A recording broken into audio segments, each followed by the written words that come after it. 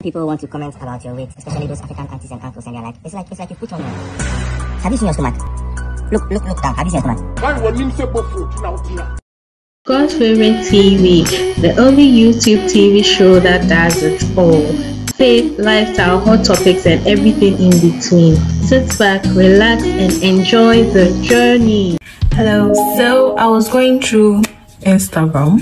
Um, then I decided that oh, let me go and check on Obolo Diaries because from time to time I check up on him, especially since we all were on keto and we were seeing results and it, it, sometimes I just go to such pages to make myself happy and to encourage myself.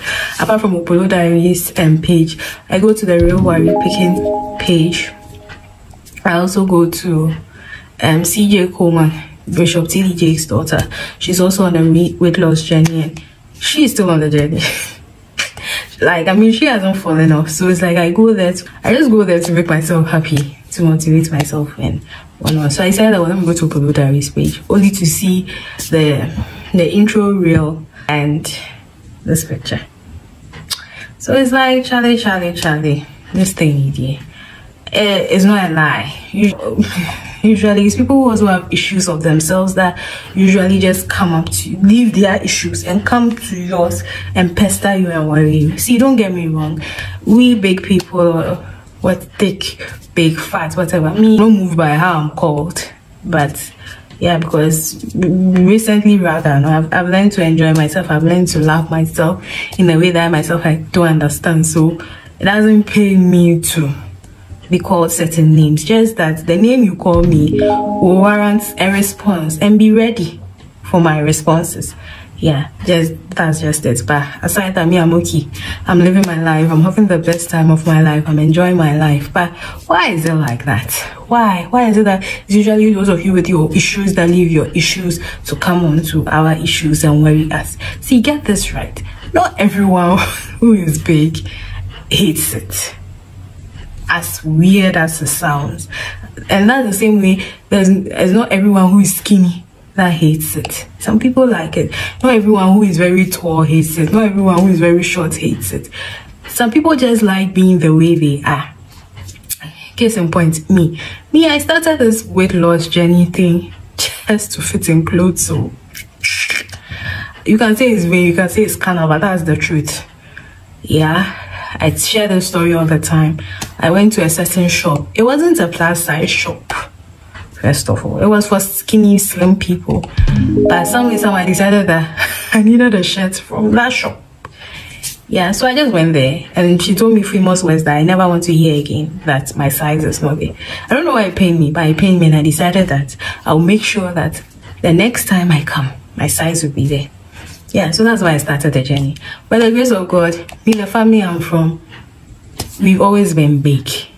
Yeah. And we've always focused on necessary things. Like we don't focus on unnecessary things. So eh, i've been loved for myself all my life. I've never seen myself to be weird. Apart from occasional times where i go out with and strangely to my friends when I'm so big. So i go out with my skinny friends and rather eh, eh, I've never really been body shamed to a point because yeah, I'm in Africa, I'm in Ghana and we are not, we look normal. Yeah, I might have been mistaken to be older than I am, but it's all been cool and it's been okay. And I realize is most people just focus on the problems, problems, problems. They never show you the solution. So it like no one would come up to you and tell you, oh, have you tried this? Oh, have you tried doing this? It's always a, why are you gaining weight? This weight that you lost nicely. Why? Will even ask, oh, are you okay? Is everything okay? Like, it's like, people just think that because you see someone and the person is big, I think you can just talk anyhow. No, it's not nice. The same way you don't like being told the truth in a hurtful way. It's the same way you too should learn to show compassion and love because trust me, there's no one who will be growing big and There's no one who will be growing slim and And chances are that the one thing that you have noticed no, is one thing that the person has also noticed and is insecure about. Yeah, so learn to show compassion to people.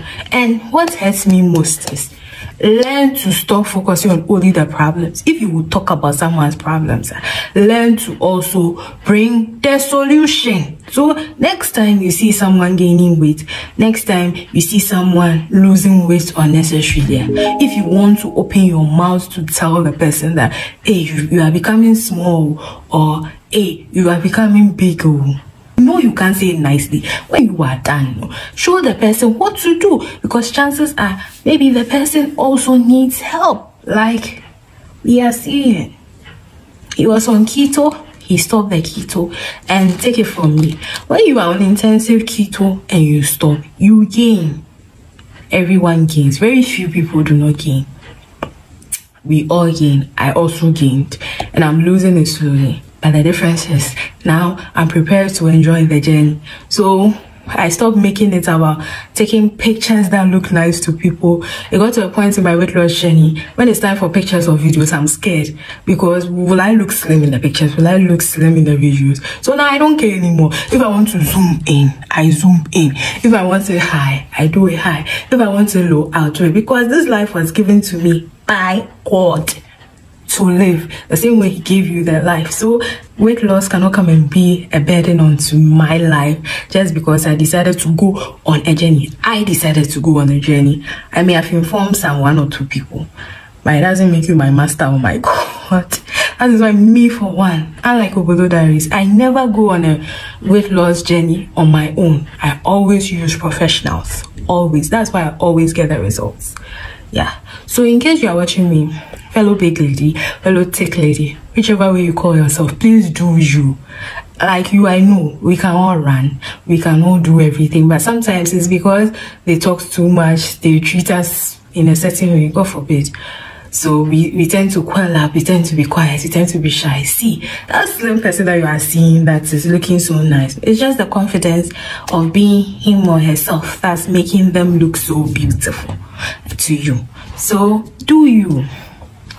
If God laces on your heart to lose weight or you need to lose weight for health purposes, Charlie, feel free the world is for all of us. Feel free to lose your weight, but remember to enjoy the journey because it will get to a point where you will reach your ideal goal. And if you didn't make time to enjoy the journey, you you will feel so empty. You feel so lost. Also make time to know a lot of things because you can never be on that journey forever and ever. You definitely stop. So learn to know more about the journey than reaching the destination. Me, I'm not good with motivational speeches, but I hope it is. I did good. Yeah, it applies to all different people, everyone. Maybe you are too tall, maybe you are too short, maybe your eyes are too big, your nose is too big, you are too skinny. Are, because I know some slim people, by the grace of God, I've met some slim people who do not like how they are. And I, have even met someone who has gone on a diet to gain weight. Yeah, so, so just be yourself, enjoy yourself. God made you the way He is. And the beauty of it is whatever nature has spoiled through sin, God can correct. And I'm a testament to it. See, me, I, like I always say, Christianity doesn't work, I can't do it. I remember, I think 2019, I when I had that incident happen, I decided actually I must lose weight and I must lose it fast. So I went to God and I told God that God, I want to lose weight and I want to lose weight fast. And I started in February. That's when I started the keto. I started in February, a week after my birthday. Then by September, I had seen results. And also when I was about to stop strict keto, I went to God again. I told him that God, I want to start eating proper food. I want to eat whenever I want, however I want. Bring someone who will help me. By the grace of God, He has brought the person. And I'm going, and I'm on the journey. I'm enjoying the journey. It's not an easy journey but at least I'm enjoying it. So go to God about everything. He can hear anything and he can solve every problem. So yeah, that's that. So as I don't know which segment is this. So okay, so this has been God's favorite, and this has been the time with God's favorite segment of God's favorite TV. As always, God's favorite TV. Enjoy the journey. Subscribe, like, and share.